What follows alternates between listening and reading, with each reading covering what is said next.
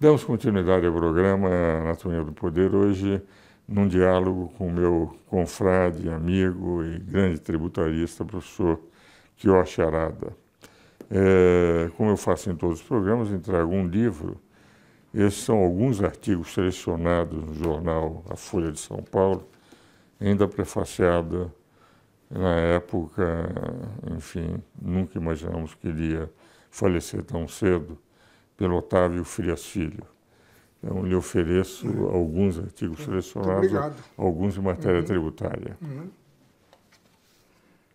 Aliás, o professor Ives Gander é um, um justo filósofo, não é só um jurista, é um, um filósofo, um humanista, é, entende de tudo, política, arte, esporte. Boa Né? Muito obrigado. Eu vou retribuir com entrega de alguns exemplares. Esse é o livro Nikkei no Brasil, uhum. que retrata as causas e consequências da imigração japonesa no Brasil, está na quarta edição, e o lançamento vai ser amanhã, às sete horas, lá no, no Salão Nobre do Bunkyo.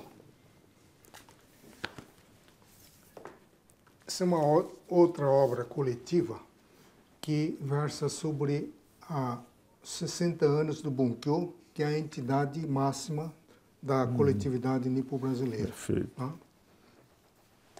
Muito obrigado. E esse livro, que acabou de sair, é a segunda edição do ICMS, Doutrina e Prática. Muito obrigado. E, finalmente, isso daqui é, são poemas da minha falecida sogra, Cambene, que significa vaidade feminina. Ah, aliás, me impressiona, é. porque conhecia e uh, esse livro são aikais. Hum. Aikai, eu escrevi alguns aikais. É, é, um dos poemas mais difíceis de fazer, porque em três versos apenas, três linhas pequenas, tem que se expressar toda uma ideia. E, e nós aqui no Brasil não temos o hábito de escrever aikais pela dificuldade. Aqui no Brasil, a sua sogra, só, é, vejo no livro, a sogra fiz só icais. Aqui são só icais, que ela escreveu, que é poema típico do Japão. Né? Lhe agradeço muitíssimo. Obrigado. Meu caro, mas o que eu ia colocar no, na posição que você tinha posto anteriormente é que, de rigor, quando se fala em reforma tributária, o grande problema da reforma tributária é o ICMS, é um górdio. É, é da reforma tributária. Essa lei complementar 160 não veio solucionar nada, complicou muitos problemas e, ao mesmo tempo, gerou descompasso entre entidades da federação. Mas o grande problema são os anticorpos que as diversas administrações tributárias criam quando se discute. Me lembro que numa audiência pública me perguntaram se eu tinha uma solução para terminar a guerra fiscal. Eu disse, tem uma solução com dois artigos. Se vocês quiserem, em cinco minutos eu faço um projeto de lei, vocês aprovam e acabou a guerra fiscal no Brasil. Então, qual é o ovo de Colombo? Muito simples. Dois artigos. Primeiro, alíquota única no Brasil inteiro. Segundo, proibição de incentivos fiscais no ICMS. Acabou a guerra fiscal. Mas aí fica muito simples. Daí ah, mas como é que nós vamos fazer políticas regionais, só com política, mas contra a lei? Sim, mas a única forma de atrair investimento, as pessoas não querem terminar a guerra fiscal, disse ele, disse eu na Câmara dos Deputados. E esse é o grande problema, são os anticorpos, qualquer proposta, porque nós estamos falando em reforma tributária desde a criação de, da Comissão Oswaldo, do é, o Matos Filho, na época do Collor, em 1990. É. Em 90. Não vai sair Nós estamos em 2018, isto é, 28 anos depois, sem nunca termos avançado realmente uma reforma tributária em nível constitucional. Tenho a impressão que um caminho, Arada, seria a simplificação da legislação de forma infraconstitucional. Você vê, por exemplo, você entende o COFINS com toda a complicação com o peso, quando poderia simplificar é matéria de lei ordinária, não é matéria de emenda é, constitucional. Pois é. A, reforma tributária, para simplificar, é só fazer emendas pontuais, aditivas e supressivas. Vamos suprimir, por exemplo, o parágrafo 7 do artigo 195, 150, que permite a substituição tributária. Isso daí não tem que estar na Constituição, certo? Uhum. Vamos é, aditar, por exemplo, proibir a inclusão do tributo na base de cálculo do próprio tributo e de outros tributos. Vamos fazer uma emenda para proibir o uso da medida provisória em matéria tributária, porque ofende às escâncaras o princípio da legalidade. Uhum. Né? Antes de o Congresso aprovasse, já está sendo uhum. tributado. E também incluir no 146, número 6, no elenco da matéria reservada à lei complementar, a definição da base de cálculo de contribuições sociais. Uhum. Aí acaba com impostos inominados e sob a roupagem impostos, de exatamente. contribuição social. E vamos proibir também a regulamentação de imunidades, que você é catedrático na matéria, das entidades de assistência eh, educacional e social por lei ordinária. Uhum. Deixa bem claro. Isso está implícito no 146. Mas o 195, parágrafo 7, né, quando diz isenção nos termos da lei, uhum. aí começou a discussão. Então, é fazer esses arastas. É. Então, o sistema tributário, por si só, não é tão complicado.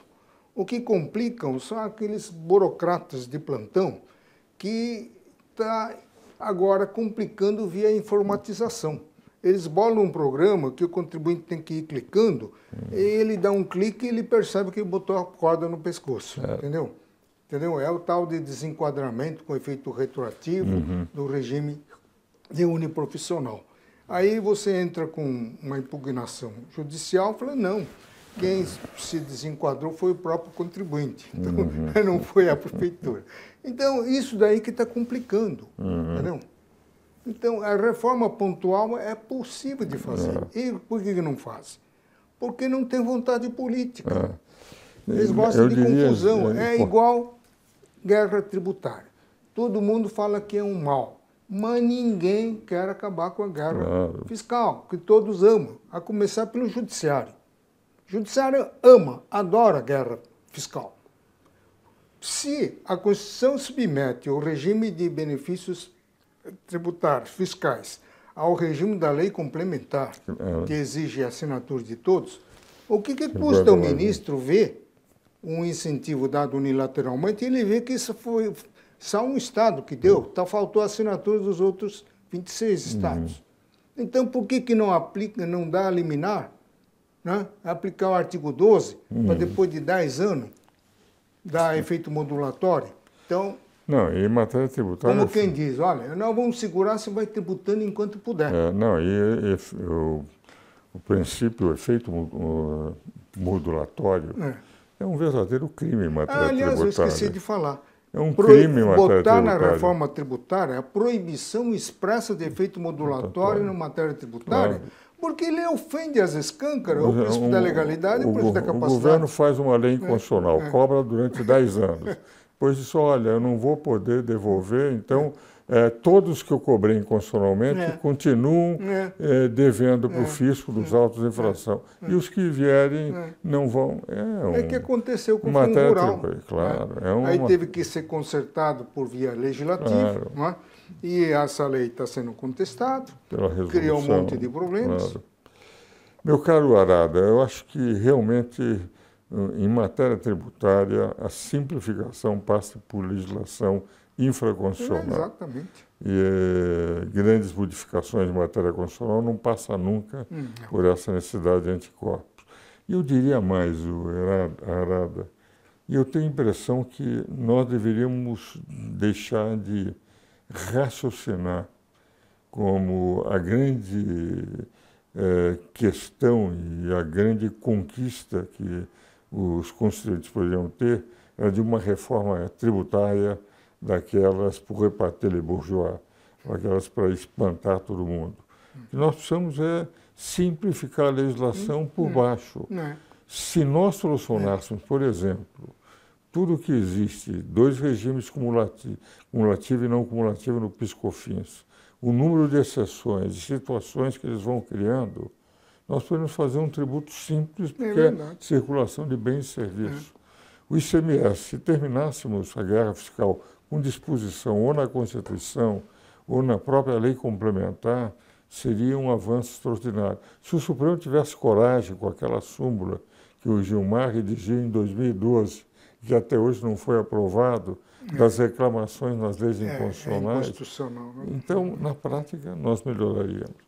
Mas, Arada, eu queria agradecer muito a sua presença, os livros que você me trouxe, o livro da sua sogra, que são Aicais, que é um poema que os brasileiros não fazem, porque é muito difícil, e todo o seu trabalho que tem feito, não só de um lado pelo direito tributário, mas fundamentalmente nas relações Brasil e Japão.